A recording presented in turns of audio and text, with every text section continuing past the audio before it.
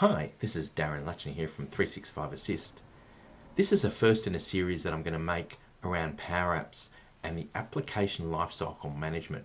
What that means is being able to develop Power Apps in an environment, in a development environment, and then moving that application across to different test and production environments, keeping version control, permissions, all that safe. This is the first one in how to create environments and creating solutions, or in other words, packages. So this is the first in that. In that, uh, look out for more episodes as I as I drop them out. So I'm going to create a new environment for development. Uh, I'll need to create a new environment for test and production later, but let's just start with the, the development one. So here I am in my Power Apps make area. And so I go up to the setting in the cog here and under admin center click on that.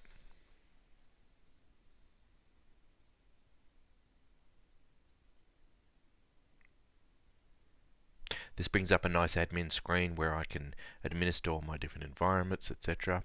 So I'll go across here obviously to environments on the left and here I've already got some predefined environments, but I'm going to create a new one for development. So up here on new, choose the name, development, environment, um, in Australia. Now, the types you have, you have a sandbox and a few trial ones, and there'll be one for production later. But when you're doing development testing, use the sandbox one, unless you just want a temporary trial environment set up. So I'll do the sandbox. Uh, now I need to create a database for this environment because I'm going to be using the Dataverse. So I wanted some databases, a database ready in that, and I'll click next. Then all the rest is pretty standard. The language, the currency. Uh, I don't want to enable the Dynamics 365 apps in this case, and I don't want any sample data put in. And then we'll talk about security groups in another video. So I just hit save and there it's preparing the instance of the development environment. It just might take a minute or two. So I've got, grabbed a cup of coffee and come back and you can see now that the, after refresh the screen the development environment's ready and I don't really need this page at this stage. So I'm just going to close that come back to my Power App screen just refresh that. And now what I've got up here in the settings under environment I'll have my new environment sitting there. So there it is there the development environment. So I want to make sure I select that you may want to make this as a favorite so you can go in regularly uh, and you've got a new environment. So the only way you know here is, is saying that uh, the, the topic there is development environment.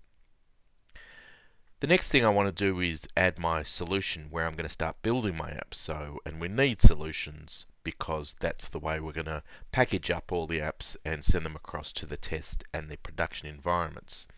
So it comes with some standard solutions, you don't have to worry about them.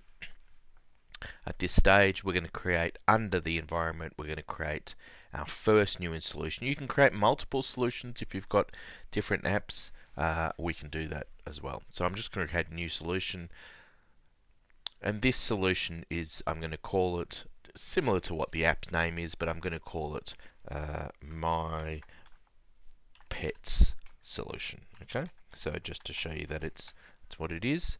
Now you'll need you can use change the name, but you need to select a publisher, and you might want to create a new. So when you drop down the publishers, there's your um, tenancy publisher and your default publisher. It's always good to create a new publisher, and the reason is this is as you pass these on, you want to know who the person is that uh, that manages this solution. So I'm going to call this. Um, Darren. I always like to put the word in when I'm playing around with it so I know what it belongs to. So publisher, and you know where, where you are. So Darren publisher display name. I'll do the same for the name. I might have to take the space out of it, put a description in. Uh, you can put a new prefix, which is always good. Don't leave it as new. So Darren will be my prefix, so I know it's me. And then we're going to save that publisher. And then we can use that publisher here, right here. So Darren Publishers and we start off with the first version and we'll go and create that uh, that new solution. So now I have my new pet solution okay nothing's in it if I open it up there's nothing in it It's ready, ready to go, ready to add apps, ready to add flows, add whatever we want.